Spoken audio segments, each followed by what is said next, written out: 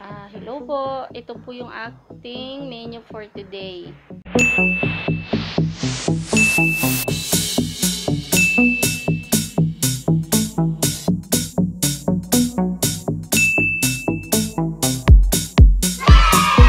Ang ating ingredients, ah, ano muna pala, ang tawag ko dito is beef steak.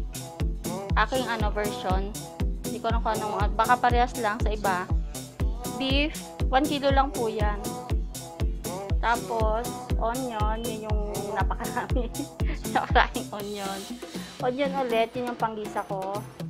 Tapos, ah, toyo or soy sauce, oyster sauce, ah, kalamansi, bawang, or garlic, patis, tapos pinagsama ko na yung tatlo.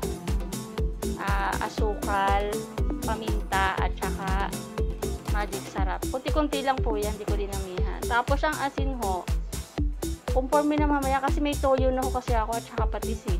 Baka umalat na siya ng gusto. So, hindi ko siya, ang tawag doon, hindi ko na muna siya lalagyan ng asin kasi meron na siyang patis. So, ito po yung ano, aking aking beef beef steak. Gagawin beef steak. Ang gagawin ko po dito is ipapride ko muna siya. Ipapride ko muna siya. Pero mamarinate muna natin siya ng pati. Sasama-samahin ko na siya. Lalagyan ko siya ng konting bawang. Hindi lang. Tapos, lagay na natin ang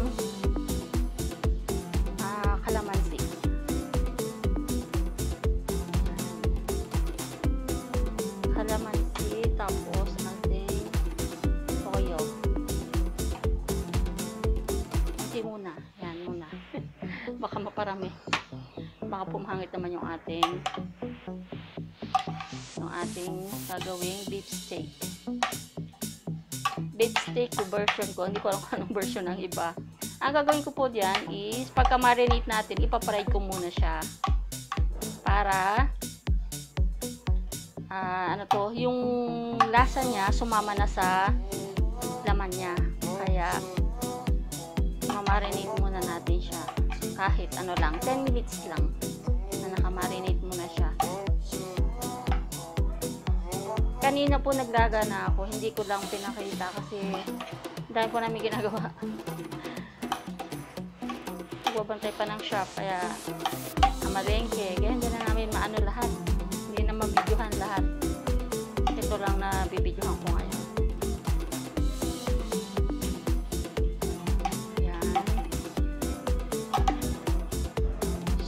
Ano lang po natin siya ng ano to? Ah, 10 minutes lang. Ilagay na rin natin yung ah, oyster sauce. Para sa- lasang-lasa na sa laman. Yan. Tapos yung ating paminta at sugar at saka magic sarap. Yung tipla ko mamaya sa asin, titikman ko na lang mamaya kung okay na. Alam ko okay na siya eh. Hindi na ako magdadagdag. Yan. Okay na po yan. Pag prito at pag timpla natin mamaya sa pag nil- niluluto na siya, sigurado na doon yung lasa niya. Hindi na kayo magdadagdag ng ibang gusto niyo naman parang kasi 1 kilo lang siya, para beefing beefy siya, magdagdag kayo ng beef cubes. Mamaya pag niluluto na siya. Pero sa akin, hindi na po. Yan, okay na yan sa akin. Wait lang po. Stay tuned po kayo ha. 10 minutes later. Ayan, okay na po. Ah, ngayon naman, mag-pipirito na tayo ng or magpa-fried ng beef. Yung kanina po na minarinate.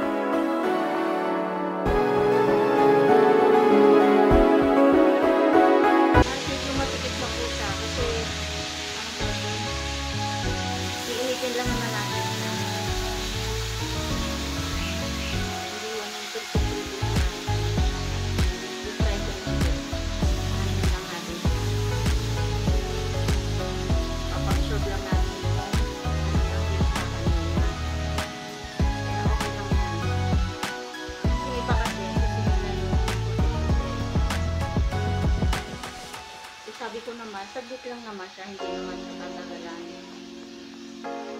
Kaya sa akin,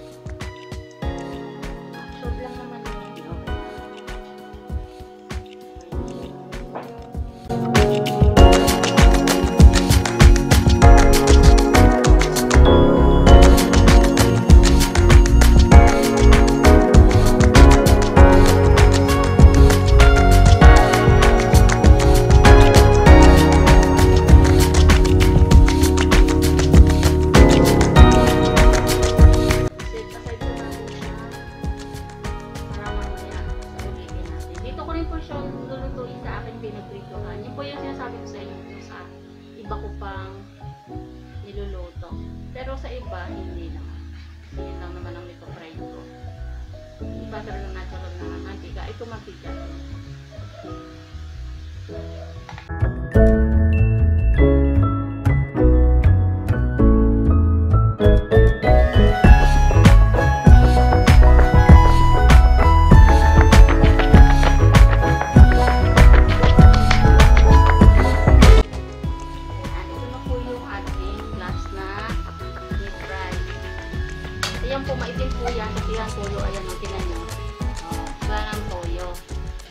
Po sunog siya. Ha? Baka sabi ko sunog. Toyo po yan. So, iset aside po natin yung pinagbabara niya. Yung pinagbabara ng ating ah, ito, binabara natin. Kasi yun po yung gagawin natin pampalasa sa beef natin. So, iset aside po natin siya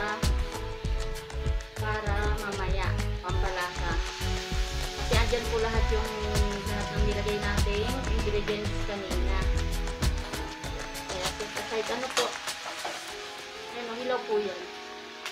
Minadali ko lang. Toyo lang kasi siya.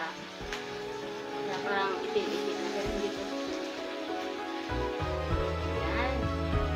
Dito rin po tayo mag igisa na bawang.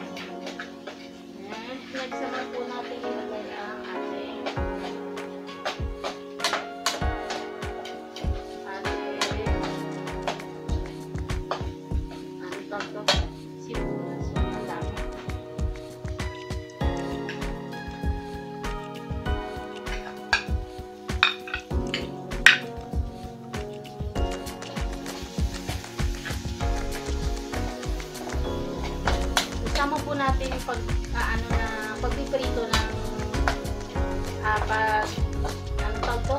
Pagigisa ng bawang at sibuyas yung ating ah, onion beans. Kukunin po natin yung isa sa side natin. Para mamaya, ano na siya, parang ipiprito lang natin siya. Madami. Matakaw sa sibuyas. Kukunin din po natin yan pag medyo na luluto-luto na kasi yan isa sa beef.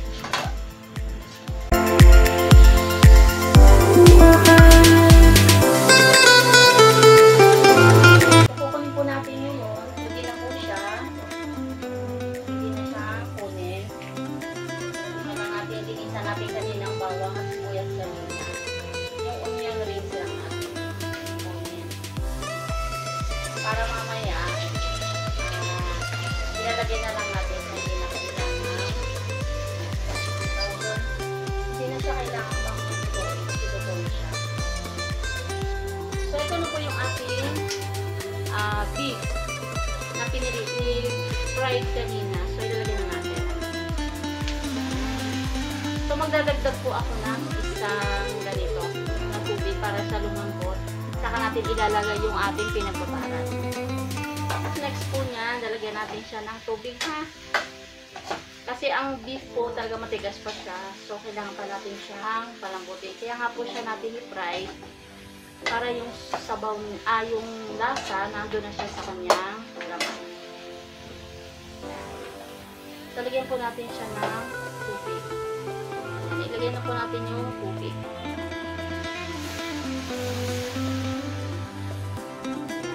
Isa lang po yan. Pag naubos na yan, saka natin ilagay yung marinated natin kanina. Para andun na yung mga lasa. Takpan po natin siya para sure siya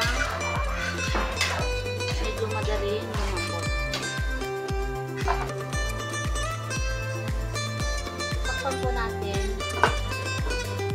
Yan.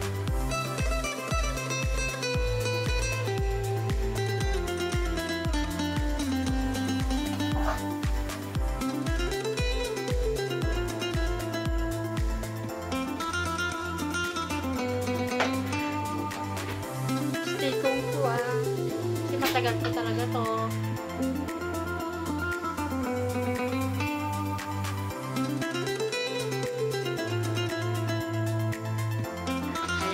Po siya.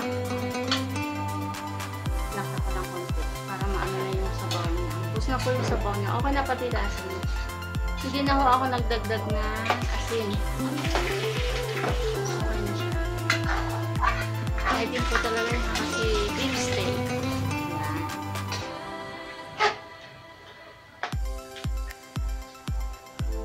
Gusto ko may sabaw. Yung iba ay ano eh, gusto yung walang sabaw. Ako gusto ko may sabaw. Ako ng tuyo.